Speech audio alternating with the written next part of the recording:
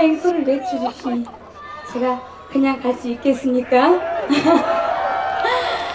그러면 이번에는 조금 더 신나는 예곡 메들리로 이어서 들려드리고 인사드리겠습니다.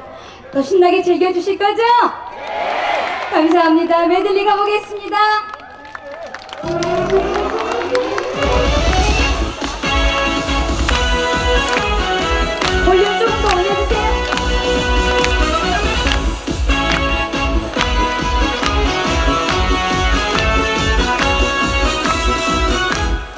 누군가 바람이 치마폭을 스치며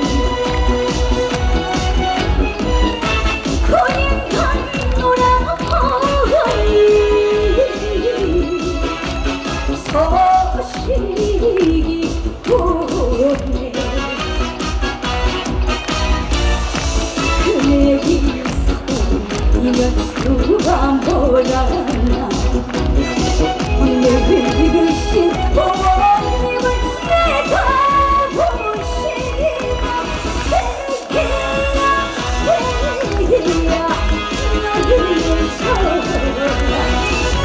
사대를 죽어라